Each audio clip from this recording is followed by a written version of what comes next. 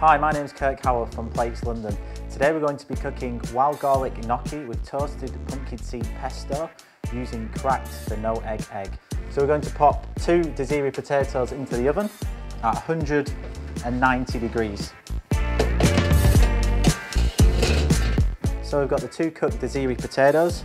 We're just going to cut those in half now.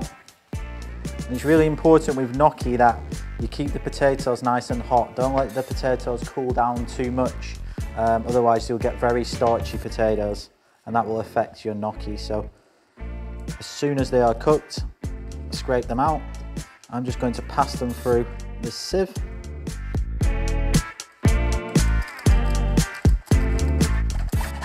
So you can see all the steam is coming off the potatoes. That's exactly what we want at this stage.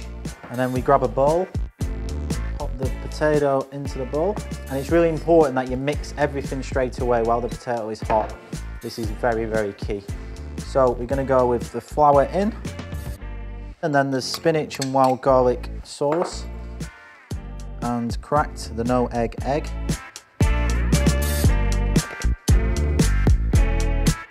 And about half a teaspoon of salt. I'm just gonna mix that.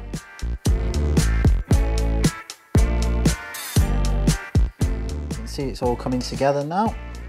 And you don't want to overwork the gnocchi because that will also end up quite starchy. So as you can see, we've got quite a bright green dough there. So we've got the gnocchi mix done. Now we're going to make the pumpkin seed pesto.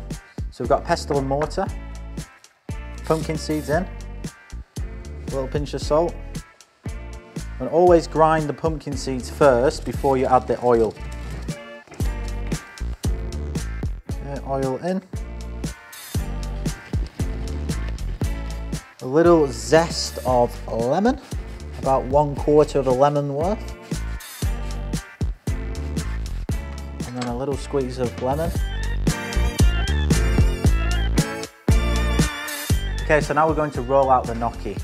So you want to add a little bit of flour onto your board just to help it not to stick.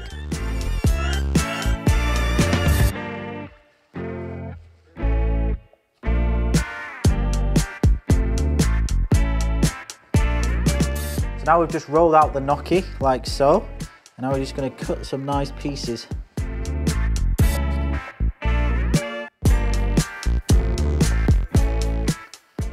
then we're just going to gently score them.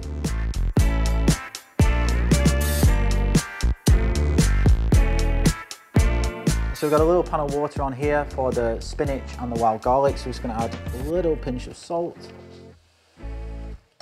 and add a teaspoon of olive oil. It's really important when you're cooking gnocchi that you get the water to boil quite vigorously first before you add the gnocchi into the pan. Add in the gnocchis into the water. As you can see, it is boiling.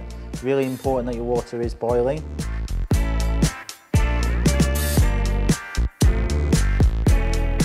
So we're going to cook the gnocchis for about two, two and a half minutes.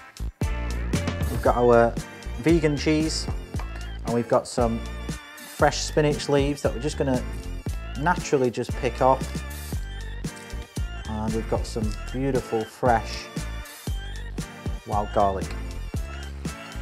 Just going to add the spinach in and the wild garlic.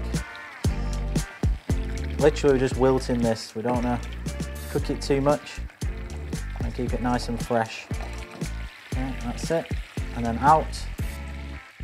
So always before you pull them all out, just check one. That's always the best thing to do.